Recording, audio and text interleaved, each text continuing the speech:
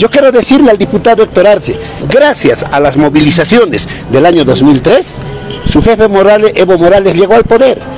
Gracias a esas movilizaciones, señor Héctor Arce, usted fue alcalde de Omereque, fue asambleísta departamental, ahora es diputado. Dejó de pastear chanchos en Omereque, es diputado Héctor Arce. Usted pasteaba chanchos antes de que sea alcalde. Pero ahora ofende a este pueblo. Por eso queremos decirle, diputado Arce, desde la ciudad del Alto, le volvemos a decir, falta harto para trabajar, sí, ni el siguiente alcalde ni el subsiguiente alcalde va a poder satisfacer las necesidades de nuestro municipio, porque tiene muy poco presupuesto.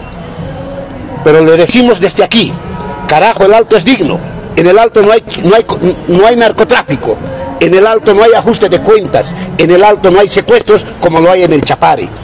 Antes se hablaba de un kilo, de dos kilos, creo que alguna vez hasta 10 kilos. Hoy en día el Chapare exporta toneladas de droga. Ese es el Chapare, la vergüenza del país. ¿Y sabe qué hace diputado Arce usted? Lo único que hace es defender a Evo Morales, al Chapare y al narcotráfico. Juro, nuestras organizaciones sociales le vamos a decir que se disculpe. Caso contrario, vamos a tener que movilizarnos. Dijo que hay calles pura tierra, debe haber, falta trabajar por la ciudad del Alto. Pero la plata se llevaron al Chapare. Y eso usted lo sabe, diputado Arce. Dijo que no hay iluminación, no hay luminarias. Debe faltar. ¿Qué ha hecho usted por seguridad ciudadana? Dijo que no hay seguridad ciudadana en el Alto. Evidente, no solo en el Alto. Peor es el Chapare.